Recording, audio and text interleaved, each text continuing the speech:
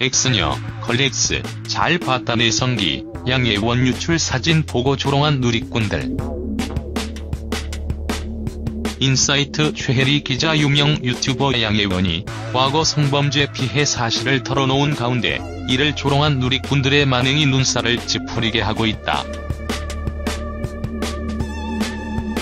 지난 16일 유튜버 양예원은 자신의 유튜브 채널 등을 통해 저는 성범죄 피해자입니다라는 제목의 영상을 올렸다. 영상에서 양예원은 자신이 최근 논란이 됐던 이른바 유출 출사 사건의 피해자라고 고백했다. 양예원은 단순히 피팅 모델 아르바이트를 하기 위해 간 곳이 성범죄 현장이었고 자물쇠로 잠긴 곳에서 20여 명의 남성에게 끔찍한 성추행을 당했다. 계속되는 성적 수치심이 드는 촬영에 거부하기도 했지만 이내 험악해진 분위기로 협박해와 양예원은 무서움에 떨며 촬영에 응할 수밖에 없었다. 첫 촬영 이후 양예원은 협박과 공포, 사진 유출에 대한 두려움으로 다섯 차례 사진 촬영에 더 응할 수밖에 없었고 지금까지 불안함 속에 지내왔다.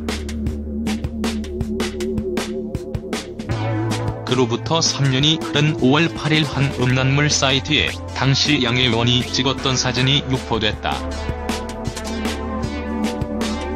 해당 사진을 보고 사진의 주인공이 양예원임을 알아낸 일부 누리꾼들은 양예원에게 사진에 대한 메시지를 보내오기도 했다.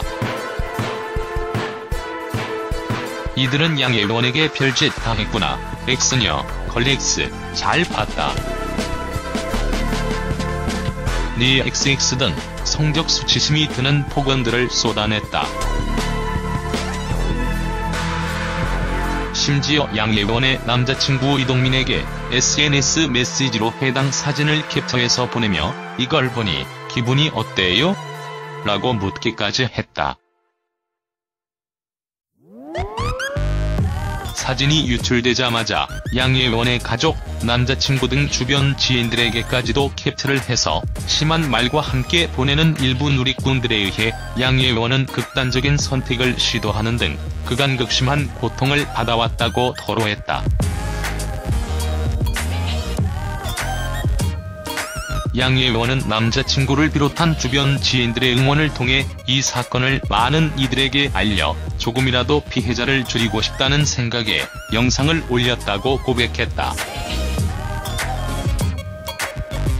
한편 해당 영상은 게재되자마자 많은 누리꾼들의 분노를 불러일으켰으며 양예원을 향한 응원의 메시지가 쏟아지고 있다.